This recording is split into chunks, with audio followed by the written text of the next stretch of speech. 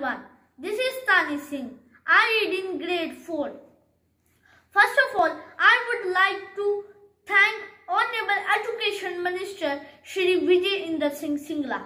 क्योंकि इन्होंने बच्चों को बहुत ही अच्छा मौका दिया अपने टैलेंट और विचारों को लोगों के सामने रखने का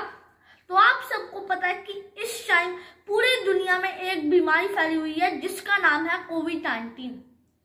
तो प्रिकॉशन लीजिएगा गवर्नमेंट की इंस्ट्रक्शन को फॉलो कीजिएगा stay at home stay safe दूसरों की हेल्प कीजिएगा, इंसानियत मत भूलिएगा। जिस तरह अंधेरे के बाद रोशनी आती है, रात के बाद दिन आता है, उसी तरह गम के बाद खुशियाँ आएँगी। और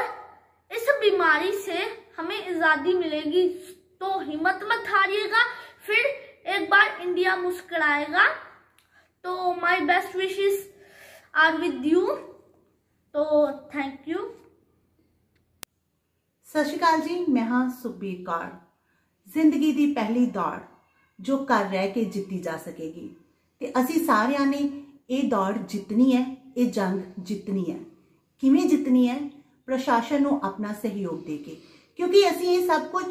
ਕਿਸੇ ਹੋਰ ਲਈ ਨਹੀਂ ਕਰਨਾ ਆਪਣੇ ਲਈ ਕਰਨਾ ਹੈ ਆਪਣੇ ਪਰਿਵਾਰ ਦੇ ਲਈ ਕਰਨਾ ਹੈ ਆਪਣੇ ਰਿਸ਼ਤੇਦਾਰਾਂ ਦੇ ਲਈ ਕਰਨਾ ਆਪਣੇ ਦੋਸਤਾਂ ਮਿੱਤਰਾਂ ਦੇ ਲਈ ਕਰਨਾ ਆਪਣੇ ਸਮਾਜ ਦੇ ਲਈ ਕਰਨਾ ਆਪਣੇ ਦੇਸ਼ ਦੇ ਲਈ ਕਰਨਾ ਮੈਂ ਆਪ ਸਭ ਨੂੰ ਇਹੀ ਅਪੀਲ ਕਰਨਾ ਚਾਹੁੰਦੀ ਹਾਂ ਕਿ ਜਿਵੇਂ ਜਿਵੇਂ ਗਵਰਨਮੈਂਟ ਦੀਆਂ ਇਨਸਟਰਕਸ਼ਨਸ ਆਉਂਦੀਆਂ ਨੇ ਸਾਨੂੰ ਉਹਨਾਂ ਇਨਸਟਰਕਸ਼ਨਸ ਨੂੰ ਫਾਲੋ ਕਰਨਾ ਚਾਹੀਦਾ ਹੈ ਜਿਵੇਂ ਕਿ ਕੱਲ ਇੱਕ ਲੈਟਰ ਇਸ਼ੂ ਹੋਈ ਸੀ ਜਿਸ ਵਿੱਚ ਇਹ ਗੱਲ ਕਹੀ ਗਈ ਸੀ ਕਿ ਜਿੰਨੇ ਵੀ ਲੋਕ ਹੋਲੇ ਮਹੱਲੇ ਜਾਂ ਕਿਸੇ ਪਬਲਿਕ ਗੈਦਰਿੰਗ ਤੋਂ ਹੋ ਕੇ ਵਾਪਸ ਪਰਤੇ ਨੇ ਉਹ ਆਪਣੇ ਟੈਸਟ ਕਰਵਾ ਲੈਣ ਮੈਂ ਅਜਿਹੇ ਲੋਕਾਂ ਨੂੰ ਇਹੀ ਅਪੀਲ ਕਰਨਾ ਚਾਹੁੰਦੀ ਹਾਂ ਕਿ ਉਹਨਾਂ ਨੇ ਕੋਈ ਗੁਨਾਹ ਨਹੀਂ ਕੀਤਾ ਕਿ ਉਹ ਘੁੰਮ ਕੇ ਆਏ ਨੇ ਉਹ अपने टेस्ट करवा लैन तो अपना शक कढ़वा लैन कि कितने उन्होंने कोई प्रॉब्लम तो नहीं है। तो नाल नाल ही मैं ये भी अपील करना चाहनी हाँ कि जो लोग अजे तक भी सोशल मीडिया के उपर अफवाह फैला रहे हैं नाल नाल नैगेटिव पोस्टा पा रहे ने, अजिहा ना करो। इस तरह कर